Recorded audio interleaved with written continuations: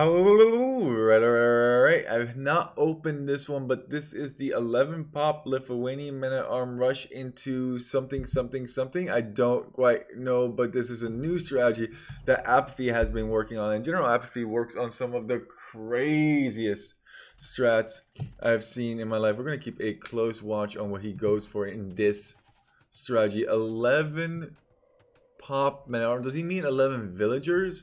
Men at arms into scouts, I think was the last part. Anyway, um, to give you a little bit of background on General Apathy, he is an memer extraordinaire. I believe he's around 1,000 or 11 to 1,200 ELO. And he tries some wacky stuff. He was really into Ganjara's Elephant Rush on Arena, in which he would place it in a team game in between both the opponents and then break through. He was doing that before it was mainstream before Tatoh and DauT were doing it together, uh, before T90 uh, made a video on it, he was just rocking that. He was like, yep, I make elephants, elephants break through gates, and then somebody else comes in with knights or whatever it is. And it's a really, really strong strategy in my opinion. He had like this crazy convoluted build order where he put all of the sheepers into the mill and then he would ungarrison some of the sheepers and consume them and he would have the fastest uh, feudal time for himself, which I think was like 19 pop and castle age, which was nuts to say the least. So let's see what he does in this one. It looks like a total of seven on food and then two onto wood. Whether or not he's going to continue on wood Wait, what? This is wacky to say the least. Taking advantage of the Lithuanian 150 additional food, constructing both those buildings, I would do this same thing in the fast feudal into opponent resign. This is looking real funky. I like it. Okay, so now he's just going to go wood, wood, wood, wood, wood, wood, wood. And it is indeed 11 pop build a barracks here?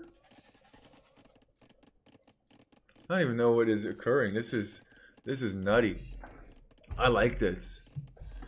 I think you're freaky and I like it a lot. But now how is he gonna get enough men at arms?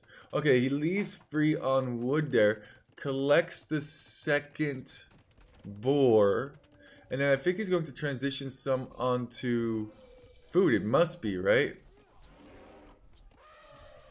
What's the progress over here? Okay, they're the militia.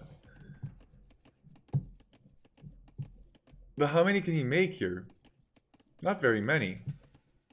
Oh, it's, it's a no loom build as well, I'm assuming. Yeah. Two militia.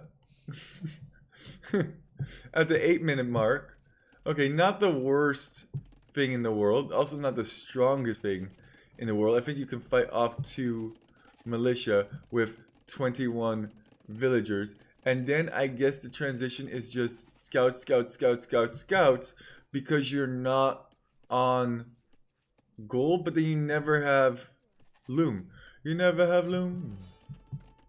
I'ma give it all to you, killing people on the wood line. And there are the scouts. That's actually hilarious. So the men at arms could actually be used to counter spearmen, and then the scouts could be used to kill archers that would counter the men at arms, but you only have two men at arms potential. I guess you could make one more, right? With the 20 gold that's still available. Yeah, okay, so there's a spearman. I also think you just fight this if you're red. If you just fight this, you can potentially just clean this up. Uh, 10 villagers down is General Apathy over here. Does have a whole bunch. This is such a crazy all in. Is this the stupidest thing ever or is this brilliant? Um, I don't know. Uh, that's not great though. That Spearman's getting basically a free, ooh, free killer over there. I haven't managed to eco at home as well. Gotta switch to berries. I think that's what kind of gave him some hiccups over there. Is this viable? I have no idea how viable this is. I, I might have to try this one out for myself because this looks fun. Um, I feel like you put yourself at a disadvantage. I feel like, uh, and this, this is going to have to be by means of play, right, that I figure this out. I think you need more than just the 11 pop to continuously produce. Maybe you don't. Maybe you don't. I don't know. There's the archery range. It's 10 villagers versus 17.